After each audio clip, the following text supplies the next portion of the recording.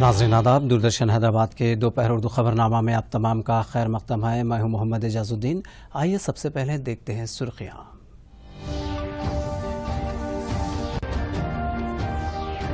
भारत सरहदी मसाइल को हल करने का मुकम्मल तौर पर अहल। वज़ीर आज़म मोदी ने कहा, भारत जानता है कि इश्तियाल अंगेजी करने वालों को कैसे देना है जवाब। वज़ीर अजम ने कहा, इस साल भारत को कई मसाइल का है सामना। आवाम से मायूस न होने, मन की बात प्रोग्राम में दिया मशवरा। सबक वज़ीर अजम नरसिम्हा राव की सत साल जयंती तकारीब का शानदार आगाज़, चीफ मिनिस्टर के सी आर ने हैदराबाद में किया तकारीब का अफ्ताह चीफ मिनिस्टर ने कहा, नरसिम्हा राव थे इसलाहत के ज़बरदस्त हामी। तमाम शोबों में इसलाहत लाने पर की सबक वज़ीर अजम की सताइश। और मुल्क भर में गुजशत 24 घंटों के दौरान कोरोना वायरस के 19,906 नए केसेस मुतासरीन की जुमला तादाद पाँच लाख अट्ठाईस हज़ार से तजावज़। सुर्खियों के बाद बढ़ते हैं खबरों की तफसील की जानब। सबक वजी अजम पी वी नरसिम्हा राव की सत साल योम पैदाइश तकारीब आज हैदराबाद के निकलिस रोड पर वाक़ पी वी ईरान भवन में शुरू हुई। चीफ मिनिस्टर के चंद्रशेखर राव ने इन तकारीब का अफ्ताह किया। के सी आर ने नरसिम्हा राव की तस्वीर पर फूल माला चढ़ाकर उन्हें खराज अकीदत पेश किया। इसके बाद भजन कीर्तन और कुल मजहबी दुआया प्रोग्राम मनद हुआ। आन जहानी लीडर को खराज अकीदत पेश करने वालों में असम्बली के स्पीकर पोचाराम श्रीनिवास रेड्डी, रियासती वजरा के T R Srinivas Yadav, Srinivas Goud, Telangana Pradesh Congress committee के सदर उत्तम कुमार रेड्डी, टीआरएस पार्लिमानी पार्टी के लीडर केशव राव, मेयर बंतू राम मोहन और दूसरे शामिल थे।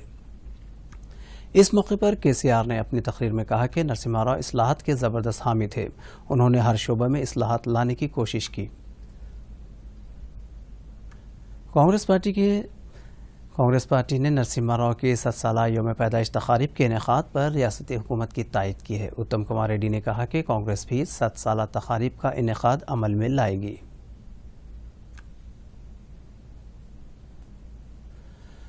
मुल्क में कोरोना वायरस के मुतासरीन में दिन ब दिन इजाफा हो रहा है। गुजशत चौबीस घंटों के दौरान इस मर्ज के उन्नीस हज़ार नौ सौ छः नए केसेस सामने आए हैं। इसके साथ ही मुतासरीन की तादाद पाँच लाख अट्ठाईस हज़ार आठ सौ उनसठ हो गई है। इसी मुद्दत के दौरान 410 अफराद की मौत भी वाक़ हो गई, जिसके साथ ही महलकिन की तादाद बढ़कर सोलह हज़ार पचानवे हो गई है। इस वक्त मुल्क भर में दो लाख तीन हज़ार इक्यावन मरीज़ जेर इलाज हैं। रूबे सेहत होने वालों की तादाद तीन लाख नौ हज़ार सात सौ तेरह हो गई है। लद्दाख में सरहद पर 9 किलोमीटर के इलाके में फौजियों को मुतयन करने के चीन के इकदाम का जवाब देने के लिए हमारा मुल्क भी तैयारी कर रहा है। इसलाह के साथ मिज़ाइल शिकन सिस्टम को इस इलाके में नस्ब किया जा रहा है। हमारे मुल्क ने पहले ही वाजह कर दिया है कि सरहद पर तसादम की सूरत हाल को ख़त्म करने की ज़िम्मेदारी चीन की है। अमेरिका और चंद यूरोपीय ममालिक ने कहा है कि उनकी अफवाज भी तैयार है, लेकिन भारत ने वाजह कर दिया है कि वह तनहा चीन से निमटने की ताकत रखता है। कोरोना वायरस से बचाव के लिए समाजी दूरी इख्तियार करने की ज़रूरत पर ज़ोर दिया जा रहा है, लेकिन यह दूरी कितनी होनी चाहिए, इसका कोई वाज तयन नहीं किया गया है। 1930 में हार्वर्ड यूनिवर्सिटी के साइंसदानों ने तीन गज से लेकर दो मीटर तक की दूरी अख्तियार करने का मशवरा दिया। उनका कहना था कि एक शख्स के मुँह और नाक से खारिज होने वाले जरासीम एक से दो मीटर तक असर कर सकते हैं। एक मीटर दूरी से मुतासर होने का खतरा तेरह फ़ीसद कम हो जाता है। मौजूदा कोरोना वायरस की वबा के दौरान यूरोपीय ममालिक में एक आशार्य चार मीटर, चीन में एक मीटर और भारत और अमेरिका जैसे ममालिक में एक आशार्य आठ मीटर की दूरी अख्तियार करने का मशवरा दिया जा रहा है। आइए देखते हैं कि यह वायरस एक इंसान से दूसरे इंसान तक कैसे फैलता है।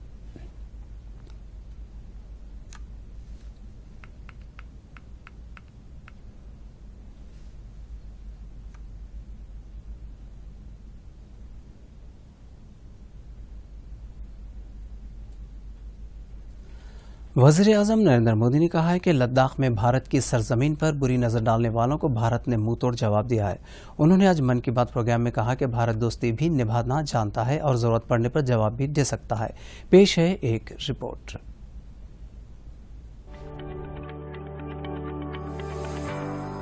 मेरे प्यारे देशवासियों, नमस्कार। वज़ीर अजम नरेंद्र मोदी ने अपने माहाना रेडियो प्रोग्राम मन की बात में आज मुख्तलिफ़ मौजूद पर अपने ख्याल का इजहार किया। उन्होंने कहा कि साल 2020 में मुल्क को कई मसाइल का सामना करना पड़ रहा है। ताहम उन्होंने आवाम से कहा कि वो नाउमीद न हो। उन्होंने कहा कि मुल्क ने हमेशा ही मसाइल को मौाक़े में तब्दील किया है। एक साल में एक चुनौती आए या पचास चुनौतियाँ आए। नंबर कम ज़्यादा होने से वो साल खराब नहीं हो जाता। भारत का इतिहास ही आपदाओं और चुनौतियों पर जीत हासिल कर और ज़्यादा निखर कर निकलने का रहा है। इन सारे संकटों के बीच आगे बढ़ते ही रहना है। आप भी इसी विचार से आगे बढ़ेंगे। 130 करोड़ देशवासी आगे बढ़ेंगे। तो यही साल देश के लिए नए कीर्तिमान बनाने वाला साल साबित होगा। मेरे प्यारे देशवासियों, संकट चाहे जितना भी बड़ा हो, भारत के संस्कार निस्वार्थ भाव से सेवा की प्रेरणा देते हैं। भारत ने जिस तरह मुश्किल समय में दुनिया की मदद की, उसने आज शांति और विकास में भारत की भूमिका को और मज़बूत किया है। मोदी ने कहा, भारत दोस्ती के वादे को निभाता है और साथ ही उसके इलाके को हड़पने वालों को सबक सिखाना भी जानता है। लद्दाख में 20 हिंदुस्तानी सिपाहियों की शहादत का ज़िक्र करते हुए उन्होंने कहा कि इन बहादुर फौजियों ने कुर्बानी का जो जज्बा दिखाया है, उसे हर शहरी को अपनाने की ज़रूरत है। लद्दाख में भारत की भूमि पर आँख उठाकर देखने वालों को करारा जवाब मिला है। भारत मित्रता निभाना जानता है तो आँख में आँख डालकर देखना और उचित जवाब देना भी जानता है। लद्दाख में हमारे जो वीर जवान शहीद हुए हैं, उनके शौर्य को पूरा देश नमन कर रहा है, श्रद्धांजलि दे रहा है। पूरा देश उनका कृतज्ञ है। इन परिजनों का त्याग पूजनीय है। भारत माता की रक्षा के जिस संकल्प से हमारे जवानों ने बलिदान दिया है, उसी संकल्प को हमें भी जीवन का ध्येय बनाना है। हर देशवासी को बनाना है। वज़ीर अजम ने कहा दिफा और टेक्नोलॉजी के शोबों में मुसलसल कोशिशों के साथ भारत खुद कफील बनने के लिए अपना सफ़र जारी रखे हुए हैं। आज डिफेंस सेक्टर में टेक्नोलॉजी के क्षेत्र में भारत आगे बढ़ने का निरंतर प्रयास कर रहा है। भारत आत्मनिर्भरता की तरफ़ कदम बढ़ा रहा है। वजी अजम ने कहा कि लॉकडाउन से ज़्यादा एहतियात अब अनलॉक के दिनों में करने की ज़रूरत है। उन्होंने कहा कि शौर बेदारी और एहतियाती इकदाम ही कोरोना वायरस से बचा सकते हैं। लॉकडाउन से ज़्यादा सतर्कता हमें अनलॉक के दौरान बरतनी है। आपकी सतर्कता ही आपको कोरोना से बचाएगी। इस बात को हमेशा याद रखिए कि अगर आप मास्क नहीं पहनते हैं, दो गज की दूरी का पालन नहीं करते हैं, या फिर दूसरी ज़रूरी सावधानियाँ नहीं बरतते हैं तो आप अपने साथ साथ दूसरों को भी जोखिम में डाल रहे हैं। उन्होंने कहा कि कोरोना वायरस ने हमारे तर्ज ज़िंदगी में कई तब्दीलियाँ लाई हैं और हमारे मुल्क की अदरक हल्दी और दूसरी अशिया का इस्तेमाल एशियाई ममालिक और अमेरिका में भी बढ़ गया है। कोरोना वायरस ने निश्चित रूप से हमारे जीवन जीने के तरीकों में बदलाव ला दिया है। इम्यूनिटी बढ़ाने वाली इन चीज़ों का संबंध हमारे देश से है। हमें इनकी खासियत विश्व के लोगों को ऐसी सहज और सरल भाषा में बतानी चाहिए जिसे वे आसानी से समझ सके और हम एक हेल्दियर प्लेनेट बनाने में अपना योगदान दे सकें। वज़ीर अजम ने अपनी तकरीर में मानसून का भी ज़िक्र किया। उन्होंने कहा कि इस मौसम में हर शहरी को माहौलियात के तहफ़ के लिए काम करने की ज़रूरत है। प्रकृति एक तरह से बारिश के समय उनकी भरपाई करती है, रिफिलिंग करती है। लेकिन ये रिफिलिंग तभी हो सकती है जब हम भी इसमें अपनी धरती माँ का साथ दें, अपना दायित्व निभाएँ। हमारे द्वारा किया गया थोड़ा सा प्रयास प्रकृति को, पर्यावरण को बहुत मदद करता है। साथियों, इस बरसात में प्रकृति की रक्षा के लिए, पर्यावरण की रक्षा के लिए हमें भी कुछ इसी तरह सोचने की कुछ करने की पहल करनी चाहिए।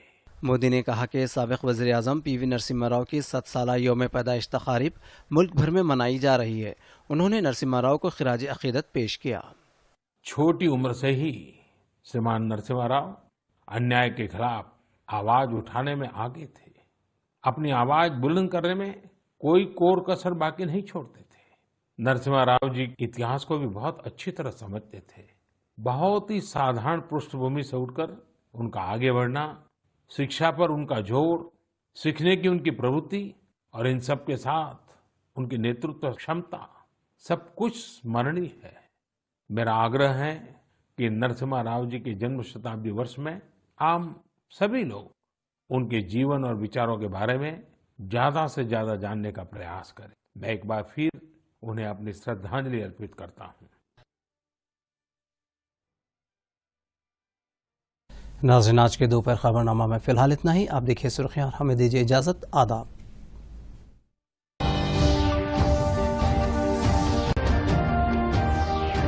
भारत सरहदी मसाइल को हल करने का मुकम्मल तौर पर अहल। वज़ीर आज़म मोदी ने कहा भारत जानता है कि इश्तियाल अंगेजी करने वालों को कैसे देना है जवाब। वज़ीर अजम ने कहा, इस साल भारत को कई मसाइल का है सामना। आवाम से मायूस न होने, मन की बात प्रोग्राम में दिया मशवरा। सबक वज़ीर अजम नरसिम्हा राव की सत साल जयंती तकारीब का शानदार आगाज़। चीफ मिनिस्टर के सी आर ने हैदराबाद में किया तकारीब का अफ्ताह चीफ मिनिस्टर ने कहा, नरसिम्हा राव थे इसलाहत के ज़बरदस्त हामी। तमाम शोबों में असलाहत लाने पर की सबक वज़र अजम की सतश और मुल्क भर में गुज्त 24 घंटों के दौरान कोरोना वायरस के 19,906 नए केसेस मुतासरी की जुमला तादाद पाँच लाख अट्ठाईस हज़ार से तजावज़।